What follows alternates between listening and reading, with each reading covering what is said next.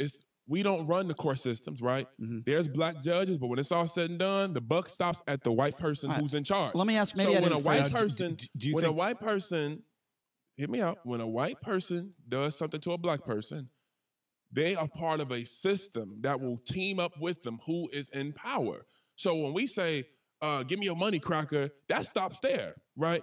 If you say, "Give me your money," N I G G E R, you have the ability to walk into my banks, to walk into my home, to call my landlord, who all look like you, stop me from housing, stop me from education. You have the power to actually determine my destiny. Well, Black people don't have that. Okay, well- me calling you a cracker, that may hurt your feelings, but at the end of the day, once I get caught, I'm getting 20 years in jail. But what if you if take- you rob, it's it's statistically proven. White people do crime, they get less time than black people and brown people. What- That's racism. What if you take his wallet and